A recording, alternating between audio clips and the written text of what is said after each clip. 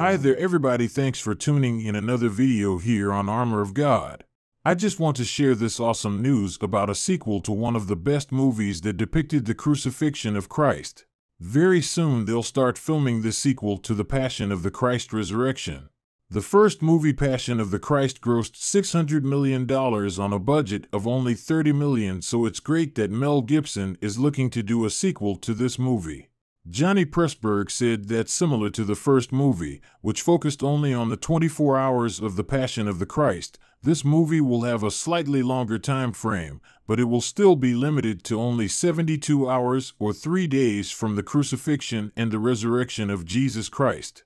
Even though the movie was criticized a lot in 2004, that doesn't deny the fact that The Passion of the Christ was one of the most important biblical epics told by Hollywood. So now the pressure is on for Mel Gibson himself. He has to answer two questions.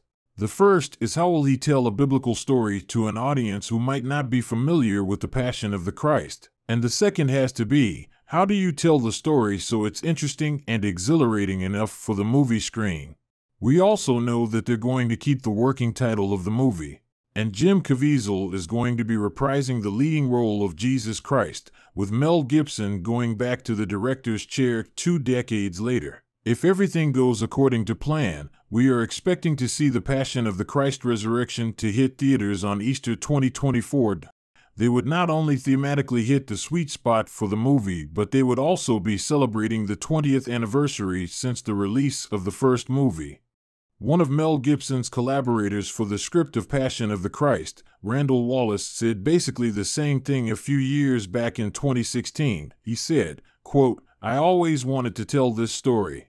The Passion is the beginning, and there's a lot more story to tell. The evangelical community considers The Passion the biggest movie ever out of Hollywood, and they keep telling us that they think a sequel will be even bigger. During an interview on The Late Show with host Stephen Colbert, Stephen Colbert raised a reasonable concern about the movie when he asked if the story is going to feel familiar to audiences. Because unlike the events that took place in the first movie, the story of Jesus' resurrection does not have too much action during the three days. There are people mourning the death of God's Son, the Savior of the world, and there are a few storylines they could explore.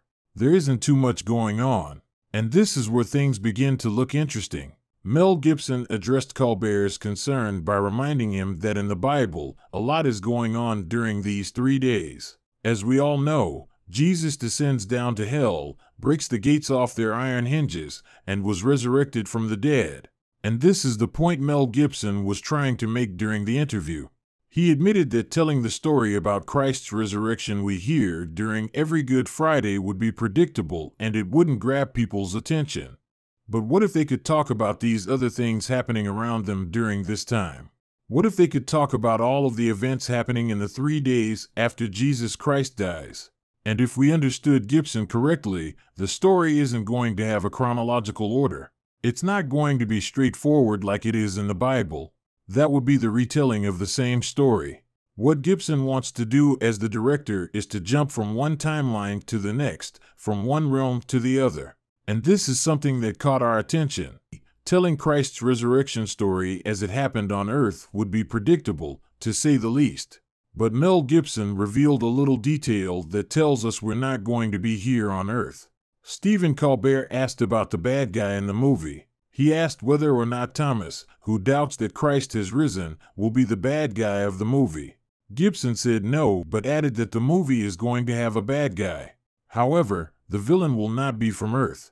This means that angels, devils, and demons could be involved in the movie as well. In other words, Mel Gibson and Randy Wallace need to decide which events to include and which ones to leave out of the movie. We understand that the movie is going to feature a central event, namely the resurrection, and then they're going to juxtapose all of these different events from the past, from the future, and from different realms around the resurrection of Christ.